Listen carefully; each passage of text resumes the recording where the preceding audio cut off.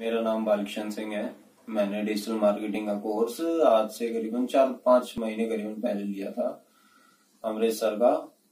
उससे मैंने धीरे धीरे चीज़ें पढ़नी शुरू की।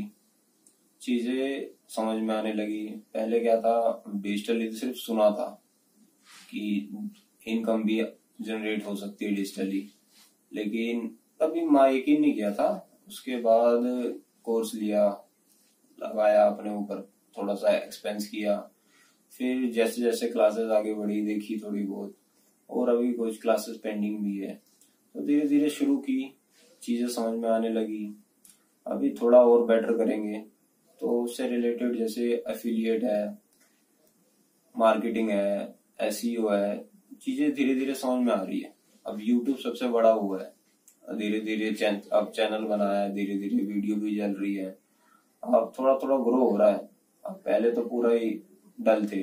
अब चीज़ें समझ में आने लगी हैं। थोड़ा बहुत सब्सक्राइबर भी बढ़ रहे हैं वॉच टाइम भी बढ़ रहा है इंस्टाग्राम पे भी चल रहा है। मार्केटिंग इंस्टाग्राम मार्केटिंग भी हो रही है फिर बाकी गूगल एनालिटिक्स भी चल रहा है, और उसके बारे में भी पढ़ा है। काइन मास्टर वगैरह वीडियो एडिटिंग जो टूल्स होते हैं धीरे धीरे चीज़ें समझ में आ रही है। तो वही था, अब धीरे धीरे और बेटर करेंगे। उस हिसाब से अमरीश भारती सर ने जो सिखाया है उससे और अपने आप को बेटर बनाने की कोशिश करें